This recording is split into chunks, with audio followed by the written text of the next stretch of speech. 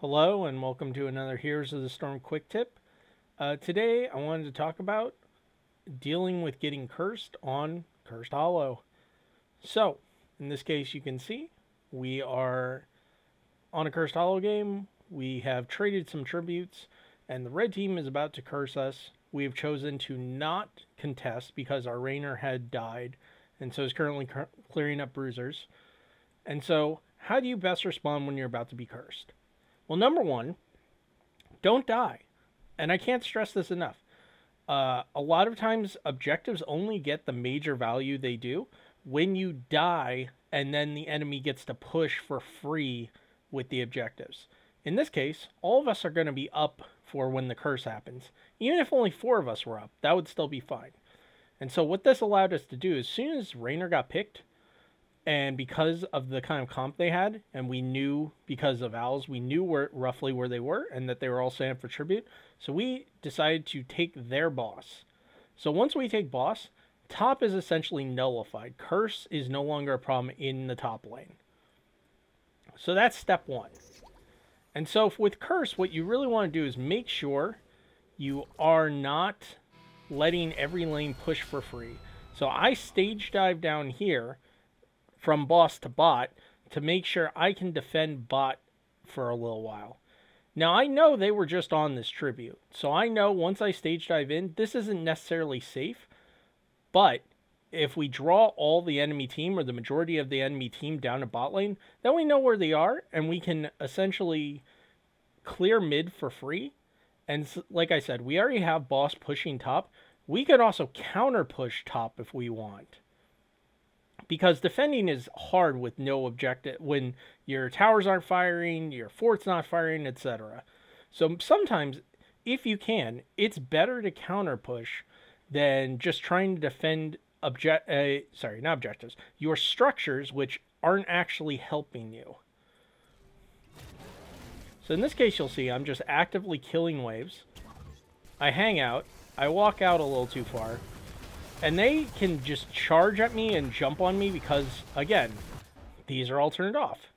Now I take a lot of damage and I pop unstoppable so I don't get slowed by anything. Or if MJ had a hammer to stun me or something. Because I just want to make sure I don't die there. Because again, if I don't die, I'm on the map, I can go do other things. And so, yeah. They get bought for it.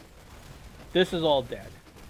What they don't really get, they lose some some uh, XP up here. The Abba can't necessarily collect it. You'll see he's going around looking for something to do. We cleared mid for free, and we got a camp pushing. So all in all, this was a relatively good curse defense for a post 10 especially. Like, we took their boss play off the table we defended all but one fort, and we kept even in XP, and actually came, may have come out a little ahead. They finally just dealt with our boss, and it took part of Keep Wall. So it took Top Fort and part of Keep Wall. So ultimately, because we invaded their boss when we knew we couldn't contest for tribute, we actually did more damage with that boss than they did with the entire objective. So something to keep in mind. Counter pushing is good. Getting camps out there to uh, protest against other pushes and lanes you're not guarding is very good. And just in general, again, if you do not die, you can defend against uh, a curse play relatively easily, except where the enemy team has situated most of their forces. So as long as you recognize that, like I did when I immediately just ran away as quickly as my little cow butt could, everything was good. And ultimately, the, the best thing they could have done probably is to steal our boss. But that also would have wasted all the XP they could have gotten in every other lane as well. So I don't even necessarily think that was a good play for them. So the three things to take away when you're defending a curse. One, don't die before objective.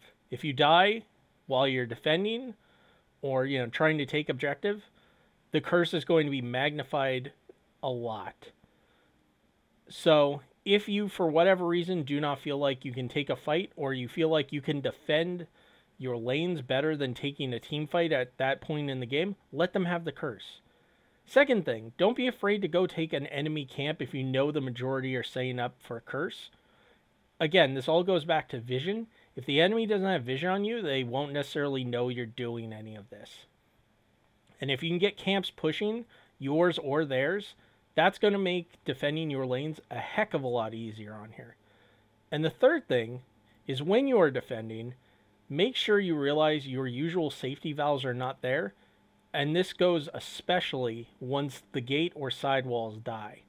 The enemy can freely move in and invade, but as you saw, because they have a really mobile comp, even if the gate and all the walls are up, theoretically, Kharazim, Yrel, Deathwing, and obviously Abba in this case, four of their heroes can attack me on the other side of this gate. They can jump the gate essentially and fight me over here. So you have to be very careful against some comps that can do that. All right, that's it for today. I hope this helps. Thanks for listening.